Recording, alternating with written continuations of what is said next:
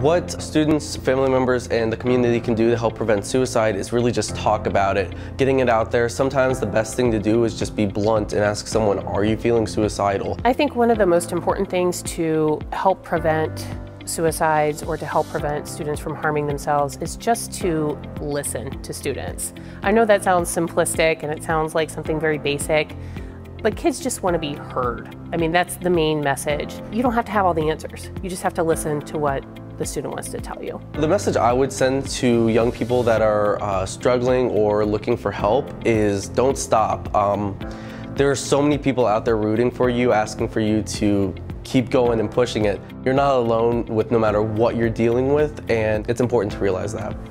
It really does get better, and we will will help you with anything that you need.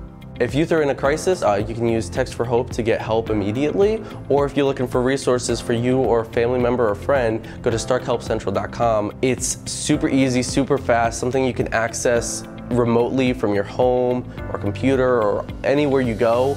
Uh, it's a great place to get any kind of information that you need, anywhere from suicide awareness to bullying to anything like that. Uh, it, it's kind of a safe haven for anyone looking for anything.